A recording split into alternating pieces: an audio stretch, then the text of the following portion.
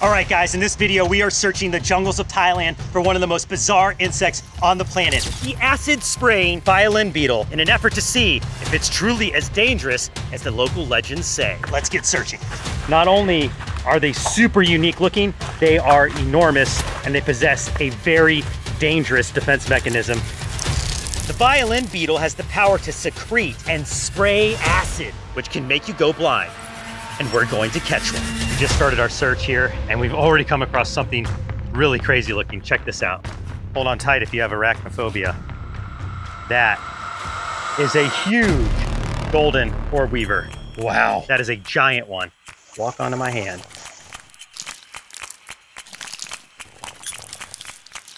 Oh boy. Whoa! Oh boy. Watch out, Mark. He's on your back. That's nerve wracking. Where is he now? He's, he's in the back. Right on your backpack. Right on the middle of your backpack. Yep. Gently. Careful. He's coming back up. Yep. He's climbing back up now. Okay. Oh, here it is. Here it is. Whoa! Look at the size of that spider, guys. Oh my goodness. Look at that. Now, is he dangerous at all? These spiders possess a really painful bite. Luckily for me, though, it takes a lot to agitate them enough to get a chomp. So if I just handle it carefully, I'll be just fine. Wow, what a spider.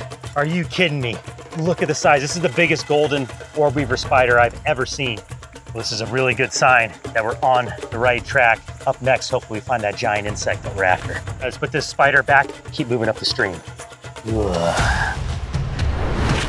These violin beetles are really good at hiding. Prefers darkness, tight crevices near water. So we are in the perfect spot to start our search. Crevices of rocks, fallen trees, and in between sheets of fungus, actually. All right, hey, uh, Andrew, I'm gonna try to flip this log, see what's Okay. underneath this. Do you have a good feeling about this spot? Uh, Well, big, big ant nest, huge ant nest. where? Up top, right by your hand. Watch out. Oh, ah, got me. Mm. Oh, first thing in Thailand. Got nailed by some, these are some kind of fire ant. Yeah, they definitely sting. Look at that, jeez. Lit me up. All right, guys hear that? Oh, monkey. Guys, bring your cameras over here. Oh, cool. Look at this. Oh, yeah. The monkey is hanging out. You guys hear that? Monkeys in the background making an alarm call, so we do have to keep our wits about us. Oh, cool. This jungle is home to leopards, bears, and even on occasion a tiger. Water, like the stream, is rare, and during the dry season, it's drawing in some things that can be super hazardous for myself and the crew. We want to find big overhangs. These violin beetles are enormous. Uh, so they're going to prefer much larger spaces than say like a little crevice like this rock here. Let's go into this tree. Not seeing enough fungus. Do you want to see fungus, smell fungus? It should be damp. That is where these insects spend almost the majority of their lives, except for their larval stage, where they'll actually live in the water. Right there. Look at that. Hey guys, I got a crab. Crab? Ah, cool. These are little forest crabs out here. And I bet they can pinch pretty good. Ah, yeah, they can pinch pretty good. Mm, yep, yep, yep. Ow, ow, ow. Gosh, it got me at the worst spot. That's, mm, come on, buddy. Let go of me. Let go of me. Just, if I just, ah, ah, come on. Yes. I'm gonna hold it just like this. Didn't draw any blood, but man, that pinched really good. These crabs are all up and down the stream bed. Kind of looks like a shore crab that you'd find in a tide pool. Not used to seeing crabs near a stream. There are a lot of them out here. Look at that. See all that purple underneath its legs? Let's put this crab back. See you, buddy.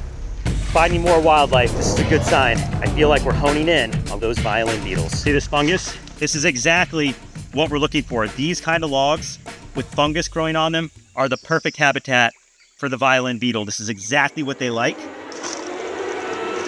See anything? No. The rest of the team found something. We're on our way. Oh, wow. A red-tailed racer. All right, you guys rolling? We're rolling. Okay. Looks like it's gonna stay put if I just. Oh, Oh, turn back. On. Mark. It's okay. It's okay. They're non-venomous, but they are biting. Stay back. See if I can just get it out of this tree.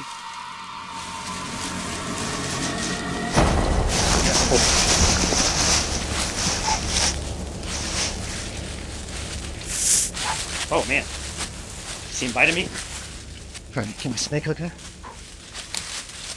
Got it. See if we can calm down. All right, there we go. That was intense. Definitely turned around and struck him a few times. Luckily, this is a non-venomous species of snake. It looks almost like a, uh, a green mamba in a way. So there's like a part of my brain that's like, don't get bit by the snake. See that? See it striking? How it's flattening out its neck. The more calm I am, the more calm the snake will be. Pretty rare to come across one of these racers because typically they're found much higher up in the canopies, hunting for anything that it can fit in its mouth. We're talking lizards, frogs, and even birds. I just had to take this opportunity to present this beautiful snake up close like this. We've got an audience of monkeys right overhead that are probably looking at me like I'm crazy. And all the things I've seen in Thailand so far, this is by far the coolest find. We're getting close. I can feel it. This is exactly the environment we need to search. See this uh, underhang? I'm gonna get my flashlight out and I'm gonna get up under there. I have a feeling this is the perfect spot to find what we're looking for today. You see something, Mark? Oh, oh my goodness. Guys, I got them. Can see him? Oh yeah, man, they are weird. Oh my goodness. There's about eight of them, and Did you say eight of them? there's about eight of them. They're all hugged up underneath this stump or this log here. And I feel like if I can just get my jar on top of them, I'm gonna have a good chance of getting it into an area we can film it. Okay, so I'm gonna use this. Wish me luck, guys. Here we go.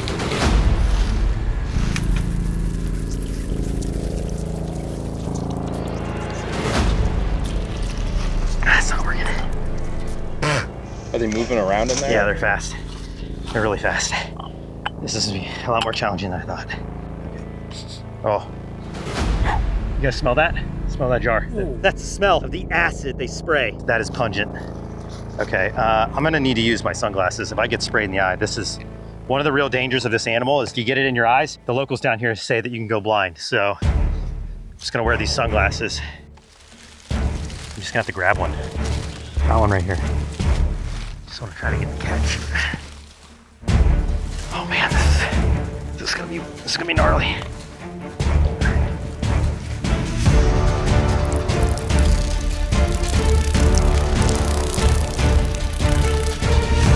Got one. Got one. Got him? Got it. Get in the jar. Oh my gosh. That was crazy. Woo! All right. We got it, guys. Woo, yeah. And it was already secreting that defense mechanism. All right, let's uh let's get into an area where we can get this violin bug in a little bit better light so you can see why this is one of the strangest insects in the entire world. All right, it's time to get a closer look at the violin beetle Thailand. Luckily, there's more where this came from, but I want to try to be gentle. There we go. Look at that. Whoa. Are you kidding me? Have you ever in your life seen anything like that? I mean, you could clearly see why it gets its name the violin beetle, shaped like a violin. And those wings on the sides of the body there are somewhat translucent, giving it this lacquer like appearance. So I would say it's accurately described. Now, they do come in a couple different color varieties. This one is the toffee brown color, trying to handle it with the utmost care. They have a very potent defense mechanism where they can actually secrete and even spray butyric acid. I can smell it. Oh, it's definitely all inside the jar. It almost reminds me of like smelling salts. It's very pungent, like makes your eyes water. You can imagine if you were sprayed with a mouthful or an eyeful of that, you'd immediately turn the other direction and run away. Now you may be asking yourself, looking at the size of this insect, Mark, is that as big as it grows? Actually, no. They can get up to double this size. Now, getting a closer look. Oh, whoa. Now, do you know where they spray their acid from? They secrete the acid from the abdomen. And my guess is from underneath. I'm actually gonna try to pin the beetle so we can see the underside and maybe we can see it spray. See that abdomen right there? So it likely secretes that butyric acid right from the back of the abdomen. Yep. Hmm. And that, oof. oh, it's you got a huge waft of it. Yeah. Ooh. But I also want to show you, look at this. Look at the center thorax of this beetle. It's got like serrated edges. It almost looks like a knife on both sides of it. It's super bizarre and menacing. That head and neck elongated. It's like a giraffe almost. Kind of looks like an, a giant assassin bug meets a cockroach meets a mantis. This is truly the territory of bizarre insects. Easily the most unique looking insect that I've ever held. Welcome to Thailand, am I right? Now you can see it has very long antenna. It's gonna be using those as sensories to navigate through the environment and you can see how flat it is. Look at how flat its body is. It's specifically designed to fit between bark and bracketed fungus. Between those two beady little eyes and those long horned antenna, there's a set of jaws in the center of the face. These violin beetles are great predators. It doesn't seem to be too dangerous, but you never can be too careful when you're dealing with exotic insects in uncharted territory. How about that? I would call that a very successful adventure out here in Kaeng Krachan National Park in Southwest Thailand, coming across what is, in my opinion, the most bizarre insect on the planet, the violin beetle. All right, let's put the beetle back under the log and head home.